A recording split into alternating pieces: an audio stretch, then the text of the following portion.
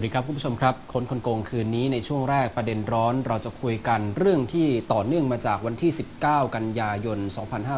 2552 ที่ทางเครือข่ายภาคีทวงคืนปราสาทพระวิหารนะครับที่นำโดยทางเอ่อเครือภาคีเครือข่ายที่ไทยอีสาน และทางส่วนกลางก็นำโดยทางคุณวีระสมความคิดไปเคลื่อนไหวที่นั่น และมีการไปอ่านแถลงการที่ผาหมออีแดงท่ามกลางความไม่พอใจของรัฐบาลรวมถึงของทางกัมพูชาด้วยนะครับแล้วก็มีการชูประเด็นว่าการกระทำเช่นนี้เป็นการกระทำของพวกคลั่งชาติ วันนี้เราจะคุยกับทางคุณวีระสมความคิดประธานคณะกรรมการในการเครือข่ายประชาชนต้านคอร์รัปชันถึงเรื่องนี้นะครับ สวัสดีครับพี่วีระครับ สวัสดีครับคุณการเสียงยังไม่ค่อยหายดีนะฮะ เสียงยังไม่ค่อยดีเท่าไหร่นะครับ มีการชูประเด็น มีการที่จะพยายามจะสร้างภาพให้สังคมได้เห็นว่าการกระทำของวีระสมความคิดกับพวก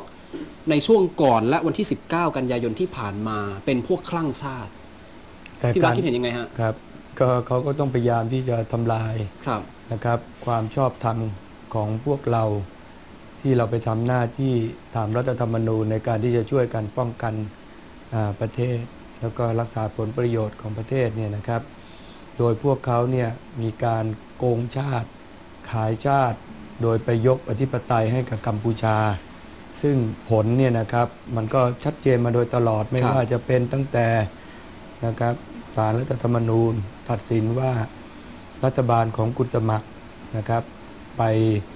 เอ่อลงนามในแถลงการร่วมกับกัมพูชาเนี่ยอืมนะมติคอรมอนั้นก็ไม่ถูกต้องครับนะครับ ให้ยกเลิกศาลปกครองสูงสุด ก็สั่งให้ระงงับการดำเนินการทั้งหมด ต่อมาทางปปชก็ชี้มูลแล้วนะครับว่าการกระทำของคุณสมัครคุณนพดลเนี่ยเป็นความผิด ตามประมวลกฎหมายอาญามาตรา157ครับนะครับ แล้วก็จะกำลังจะเข้าสู่การพิจารณาของศาลฎีกาอืมคือทางคุณวีระกำลังจะบอกว่าเอ่ออม สิ่งที่เกิดขึ้นเหล่านี้นะที่เป็นการคำตัดสินของศาลก็ดีนะหรือว่าจะเป็นเอ่อมาตรฐานทางสังคมที่มองกันก็ดีนะทั้งข้อเที่จริงก็ดี หรือว่าข้อมูลทางประวัติศาสตร์ก็ดีเหล่านี้เนี่ยกำลังจะเป็นการสร้างความชอบธรรมให้กับทางคุณวีระเองด้วยหรือเปล่า ในการที่ขึ้นไปประกาศเจตนารมณ์อุดมการณ์ที่ผาหมออีแดงวันนั้นคือคืออย่างที่เรียนนะครับว่าครับทั้งหมดเนี่ยมันมีความช่อฉน มีการกระทำผิดมาโดยตลอดนะครับ เป็นการทำให้เราเนี่ยต้องเสียดินแดน แต่เราเนี่ยนะครับภาคีเครือข่ายผู้ติดตามสถานการณ์การเสียดินแดนรอบปราสาทพระวิหารเนี่ย เราได้พยายามพูดมาโดยตลอดครับนะครับ แต่คนส่วนใหญ่ก็ยังไม่เข้าใจ จนเราต้องเข้าไปพิสูจน์ความจริงนะครับ เอาข้อมูลมาเปิดเผยเมื่อวันที่ 28 สิงหาคมที่ผ่านมาเนี่ย จนเอ่อต้องนำไปสู่ การไปแถลงอ่านแถลงการณ์ครัขบ องเรานะครับ เมื่อวันที่ 20 กันยายน แล้วก็ในวันที่ 19 เนี่ยก็มีการเอ่อเอาคนนะครับที่ถูกจัดตั้งมาเนี่ย พี่วีระบอกว่าจัดตั้ง มาทำละายจัดตั้งชัดเจนเลยครับ แน่นอนเรามีหลักฐานเพราะเดี๋ยวเรื่องเนี้ยจะต้องนำไปสู่การเอ่อตรวจสอบและลงโทษต่อไปตามกฎหมายนะครับ เรามีหลักฐานชัดเจนครับครับว่ามีใครอยู่เบื้องหลังในการกระทำต่างๆเหล่านั้นเอ่อ ตรงนี้ก็อยากจะเรียนให้ทางท่านผู้ชมรายการค้นคนโกงว่าครับ มันก็เป็นอย่างนี้แหละครับ ปกติเวลาคนที่ทำผิดเนี่ย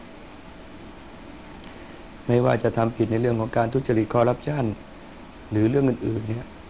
ไม่มีใครเคยยอมรับผิดหรอกครับ คุณการท่านผู้ชม ทุกคนเนี่ยจะบอกว่าตัวเองบริสุทธิ์ทั้งนั้นนะครับ แล้วก็จะพยายามไปโทษคนที่ลุกขึ้นมาตรวจสอบตลอดเลยอืม นะเป็นเรื่องปกติซึ่งผมก็ก็เข้าใจครับนะครับ แต่ก็เอ่อสังคมเนี่ยนะครับ เมื่อเวลาผ่านไปเนี่ยทุกคนก็จะประจักษ์เองนะครับว่าเอ่อความจริงเนี่ยเป็นอย่างไร ซึ่งทุกวันนี้นะครับ ก็ได้พบแล้วว่าความจริงต่าง ๆ เนี่ยมันเป็นเรื่องที่เอ่อชัดเจนขึ้นมาเห็นไหมครับ เมื่อไม่กี่วันมานี้ทางเอ่อนายกฮุนเซนนะครับ สมเด็จฮุนเซนเนี่ย ก็ออกมาชัดเจนยืนยันประกาศเลยครับ พื้นที่4.6ตารางกิโลเมตรนี่เป็นของเขาเห็นไหมครับ อืมเราฟังจากน้ำเสียงของทางรองนายกสุเทพที่ให้สัมภาษณ์นะเมื่อวันสองวันที่ผ่านมาที่พูดเหมือนกับว่าเอาวถ้าเป็นฝั่งกัมพูชา แล้วลุกล้ำเหมือนที่ทางคุณวีระไปลุกล้ำเขาเนี่ยแล้วทำให้ฮุนเซนประกาศท่าทีแข็งกร้าวเนี่ยถ้าเป็นกัมพูชาลุกล้ำเข้ามา เราก็ต้องทำอย่างนั้นบ้าง ในพื้นที่ 4.6 ก็เท่ากับว่า อืม คือฟังแล้วเนี่ยจับน้ำเสียงได้ว่ามันเหมือนกับการยอมรับไกลๆของรัฐบาลไทยว่าพื้นที่ตรงนั้นเป็นของเขมรไปแล้ว แล้วคุณพูดทำไมล่ะครับ นะคุณพูดทำไมว่าเรายังไม่เสียดินแดนครับนะครับมันขัดแย้งกันนะขัดแย้งกัน แล้วครับคุณสุเทพก็ยังพูดอยู่เสมอว่าเรายึดหลักสันปันน้ำอืมถ้าเรายึดหลักสันปันน้ำพื้นที่สี่จุกตารางกิโลเมตรเป็นของเราแน่นอนครับนะครับ แล้วก็เป็นของเรามาโดยตลอด